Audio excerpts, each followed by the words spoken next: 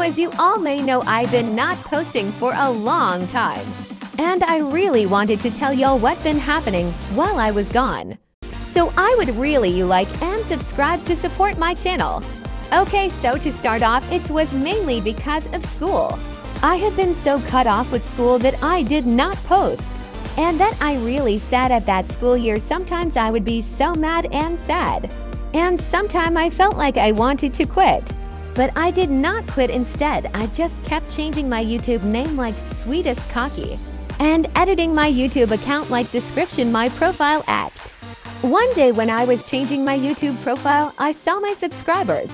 So I used to have 42 subs, then I went down to 34 or 32. I was really sad, but it's not my choice that they can sub or not. I'm pretty sure they unsubscribed because that I have not been posting, which honestly I would have done the same. But I am so happy I still have some people that subscribe while I was gone, which I am so grateful for. But behind the scenes, I was making so many videos, but most of them, I quit on them.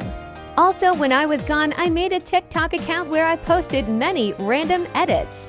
Also guys, I really want to announce something and I know I have said this before but in getting a new iPad because my iPad is laggy and I could barely do videos. And as you can see in the background, it is extremely laggy. And right now, while I'm editing this, my iPad froze more than two times.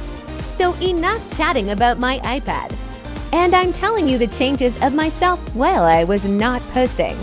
So to start, I have grown older now. So you will not see this anymore. Now you re wondering what am I going to post then? Realistic roleplays in Berry Avenue and Murder vs. Sheriff and more gameplay. And also I am starting puberty which I am not getting into detail of.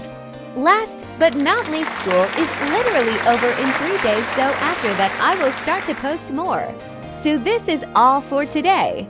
Thank you so much for watching. Again, sorry for not posting.